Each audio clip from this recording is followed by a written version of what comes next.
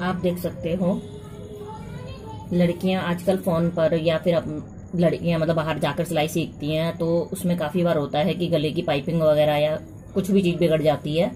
तो इसमें एक लड़की ने ब्लाउज बनाया था, जिसकी वजह से जिसमें गला बेकार हो गया इसका। ये देख सकते हो आप, पाइपिंग वगैरह सारी निकल चुकी है और इसमें तुरपाई भी करी हुई है उसने सब। तो ये साइडों में से सारा निकल चुका है कपड़ा।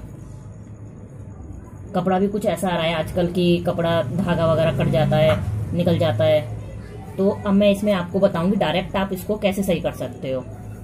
इसको सही करने के लिए आप इसमें कच्चे से भी कर सकते हो, कच्चा कर सकते हो और इसको मशीन से भी कर सकते हो। जो ये पाइपिंग उधरी हुई है पहले, इसको हम मशीन से लगा लेंगे। मशीन से लगाने के बाद इसी में ही डायरेक्ट पाइपिंग लगा देंगे। अब आप देख सकते हो। मैंने इस मशीन मशीन से इसे सिलाई लगा ली है।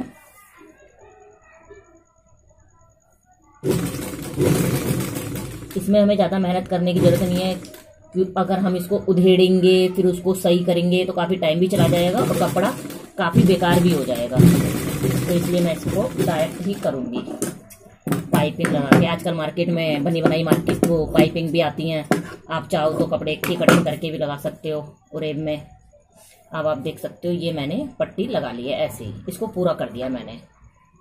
अब मैं इसको अंदर करके इस तरह से। ये देख सकते हो आप, ये मेरी अंदर आ गई है पट्टी।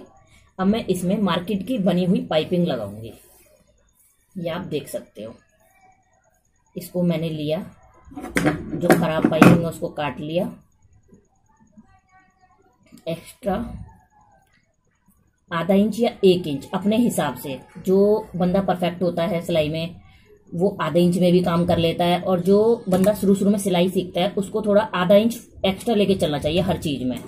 जिससे कपड़ा टाइट ना हो या फिर उधड़ जाए या कुछ भी हो तो कपड़ा कम ना पड़े फिटिंग वगैरह टाइट ना हो जाए। हम लोग आधे इंच में भी काम कर लेते हैं, जो लड़कियाँ सिलाई सीखती हैं। उनके लिए आधा इंच कम पड़ जाता है तो इसलिए आधा इंच एक्स्ट्रा लेके चले हर चीज़ में। अब आप देख सकते हो, ये मैंने पाइपिंग लगाई है, इसमें इस तरीके से। ये। अब इसमें ये ब्लाउज में पाइपिंग डायरेक्ट लग जाएगी। जो ये गला इसका बेकार हो गया था, ब्लाउज का, वो सही हो जाएगा। आप देख सकते हो, जैसे देखो बीच बीच में ये कपड़ा निकला हुआ है गिरा तो इसको हम डायरेक्ट सही कर सकते हैं पाइपिंग लगाकर। पाइपिंग लगाकर। आप देख सकते हो मैंने ये पूरे में इसी तरीके से पाइपिंग लगा दी। कभी भी कोई काम जल्दबाजी में नहीं करना चाहिए। जल्दबाजी का काम हमेशा बेकार ही होता है। इसलिए काम को हमेशा धीरे धीरे आराम से करना चाहिए। और अगर कोई काम आपसे नहीं हो रहा है तो उस काम को कुछ देर के लिए छोड़ दो। हो सकता है कि वो काम थोड़ी देर बाद सही हो जाए।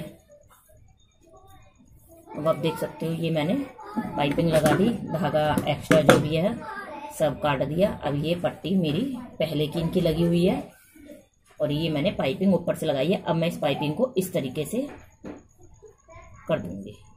ये अब मैं इसके ऊपर पट सिलाई लगाऊँगी, जिससे ये सेट हो जाए अच्छे से। लॉक हमेशा लगाना ना बोले कभी भी सिलाई चालू करते हो तो लॉक का ध्यान हमेशा रखना कि लॉक हमेशा लगाएँ।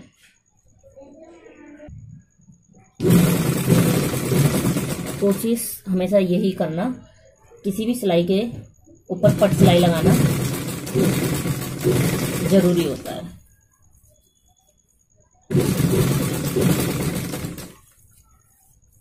अब आप देख सकते हो, ये मैंने ब्लाउज में पट सिलाई लगाई है जिससे हमारी पाइपिंग नहीं उधरेगी और एक जगह सेट रहेगी।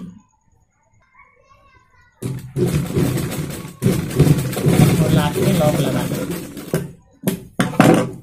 ये आप देख सकते हो, मैंने गले में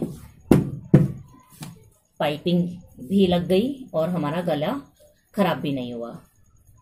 अगर आप इसको उधेड़ते, फिर उसको कपड़े को निकालते, बनाते तो पक्का ये ब्लाउज बेकार हो जाता।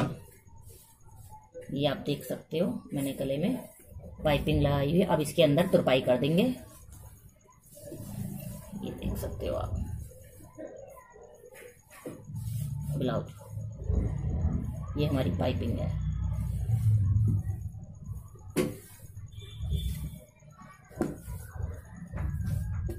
ये मैंने पाइपिंग लगाई है मार्केट की बनी बनाई।